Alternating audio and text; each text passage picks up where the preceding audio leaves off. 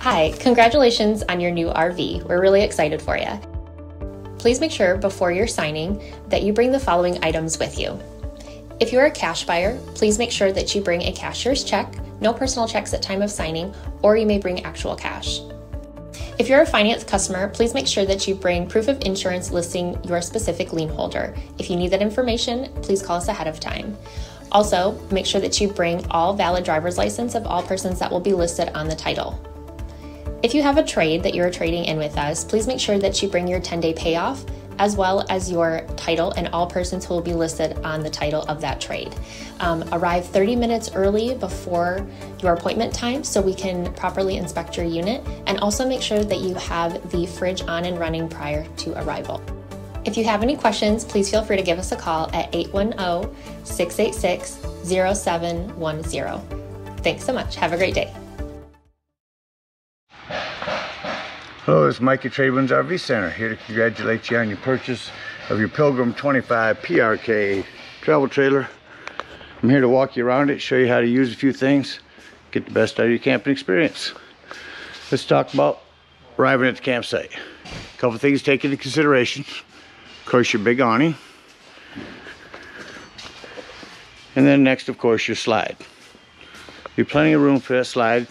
It's little, Still leave plenty of room for that to come in and out unhindered, preferably nothing hanging over top of it. Then I want you to think about where your power and water connections are gonna be. They are actually right next to each other back here at the rear of your off-camp side or your driver's side of your tow vehicle. Your power and your water connection. So park accordingly so that you can utilize facilities at the campsite. Once you arrive and unhook your hitch, first thing you need to do is level your unit. You have a docking light should you arrive at night. Simply raise or lower your unit. Now I do recommend getting a stick on level. Put it over on your off camp side right in the middle of the unit. Somebody can stand over there and watch it for you and let you know when your unit's level. Now should you lose power, this little rubber stopper comes up and you do have this little manual hand crank that you can raise and lower this if you don't have power. Once we've got our unit level, next thing we're gonna do is stabilize it. And all four corners you have stabilizing jacks and it's three quarter inch crank to run these down with. Now, what I do recommend, you see these come down rather quick, scissor jacks. I do recommend our jack pads. Jack pads are going to protect the feet of your stabilizing jacks from dirt and debris and hot blacktop. Uh, keep them from sinking, better distribute the weight. Use your 10% off coupon and grab you a four pack of those. They're worth the money put them on the ground and just run these down until they're taut. Remember, these are stabilizing jacks, not leveling jacks. So we just want to run them down until they're nice and tight. If you get any resistance from this, once you hit the bottom, then you know you're down far enough. Got our unit level, stable. Let's go ahead and hook up our power and water. Now over here at the rear of your unit is your 30 amp service. It conveniently stores right inside here. Just pull all that out, run that cord out, should you need it. There is a 30 to 110 adapter that you can plug in at home. Got our power hooked up, let's hook our water up. Water connection's right here. First and foremost, your water pressure regulator. This water pressure regulator is going to reduce the water pressure to 40 to 50 psi. It's going to protect the lines in your unit. You don't know what the water pressure is at different campsites. So hook that up, hook your hose up. Don't turn our hose on yet. You're gonna come right here to the left to your hot water heater. All we're gonna do at this point is return our drain plug. May have left it out from last time you were camping. Go ahead and get that back up in there nice and snug. Once that's in there, then you can go ahead and turn on your water. Go inside to your hot water tap, open up your hot water tap. Water will not come out hot, but once water is coming out of there, then you know your hot water heater is full and you can let, turn it on from indoors. Let's say we're gonna go camping and we're not gonna use city water. We're gonna use potable water. Over on your campsite, here's your potable water tank. You can just simply fill this with a hose. Uh, two ways to tell when it's full. One, there is an overflow valve right here. And two, there's when you check the levels of your tanks inside, you hold your fresh tank button down. That'll tell you when this is full. Just remember, when using potable water is when you're going to want to turn on your water pump. Don't turn on your water pump when using city water. It's already pressurized and unnecessary.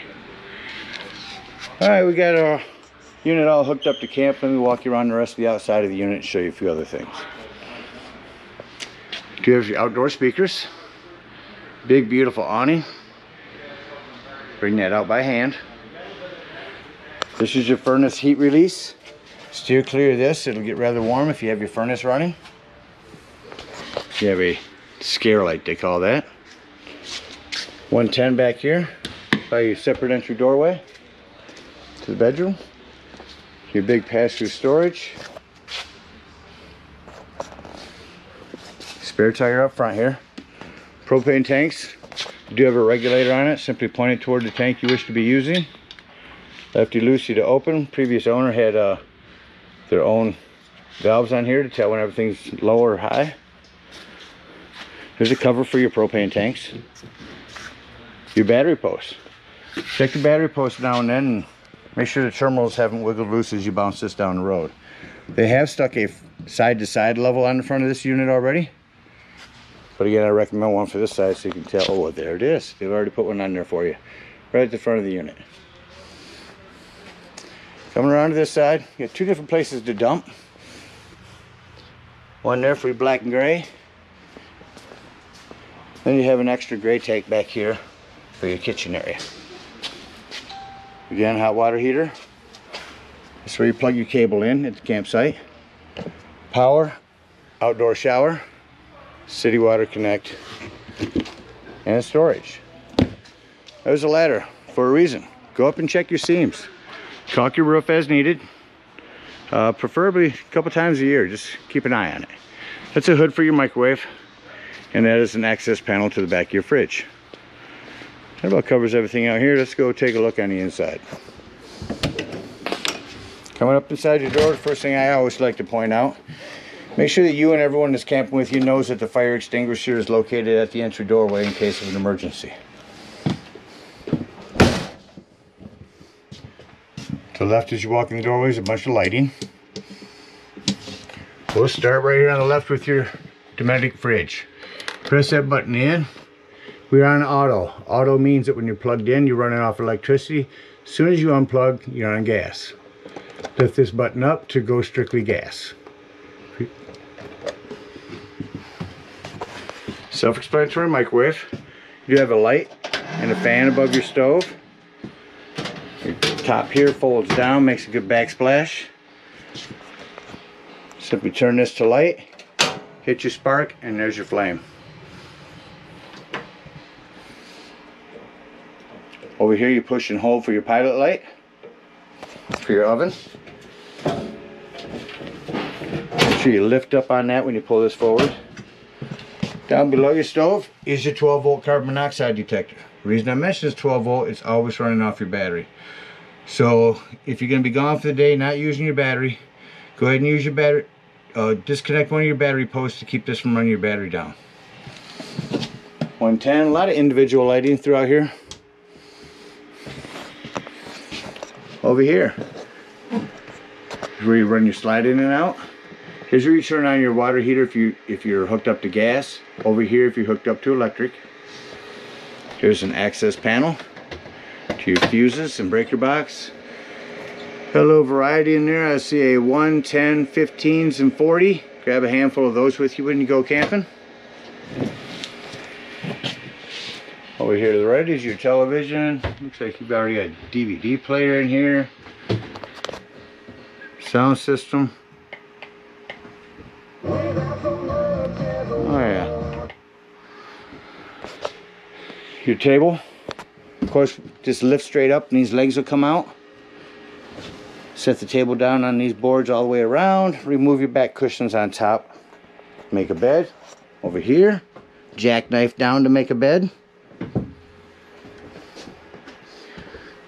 Put in the back, lift up from the front, and grab it from the back. Coming into the hallway here. Antenna. Couple smoke alarms, one here and here. Oh, this is actually a carbon monoxide alarm, excuse me. Coming down here on the wall. Water pump should be off. Here's where you check your tanks. So your brand new battery, your fresh tank. This is the button I said you can hold in to tell when your potable water is full. Your black, gray, and galley tanks. Your thermostat down here. Well, let's start. Well, it already started. Start with your furnace. Turn your furnace on. Turn the heat up. That's running. Shut that off. There's your AC. Shut that off. Now the AC will shut off quickly, but whenever you shut off your furnace, give it a few minutes. It takes a moment to shut off. Like that on all units. Come back into your bathroom here. I just want to mention in here, this is where your 110 with GFCI resets at. You have a hand crank open, exhaust vent in here. Bedroom, same thing. Hand crank open, no no exhaust vent.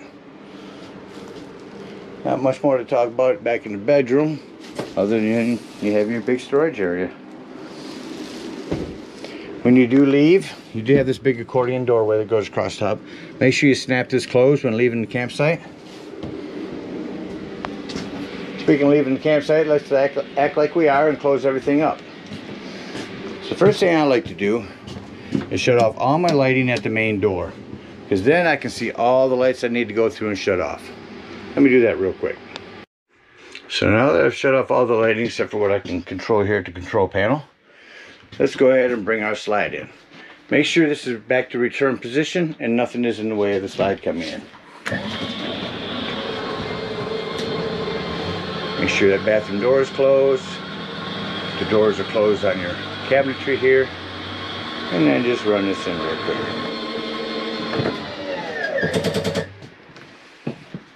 That's it. Come over here. Shut off our main lights. Coming out of the unit. Lock and deadbolt your door when you leave. Lift and turn this handle. Come around to your hot water heater. We're gonna unhook our cable, unhook our water, bring up our stabilizing jacks, come back here to your hot water here and lift up on this pressure release valve and leave that open. That's gonna release all the water out of your lines. Once it's done, remember to snap this back down or your door will not close. Then you can pull this drain plug. That'll get the rest of it out of there. And remember to close up your hot water heater. Over on the other side there, you can see is your low point drain. Open that up, drain your waters out, and head on up to the dump station. At the dump station, we're starting the front. First thing you're gonna do is pull your left handle. It's gonna be your black tank. After that, pull your right handle. It's gonna be clean the waters, your sinks, your showers, or clean your sewage hose out for you. Close that up. Come back here, hook up your hose again, and then pull this gray handle. That's gonna be all galley water from your sink up front. It's gonna again clean your sewage hose out. Close the sewage hose up, store it in a sanitary place, and head on home. Again, we thank you guys so much for your purchase. Hope you enjoy this trailer for many years to come. Happy camping.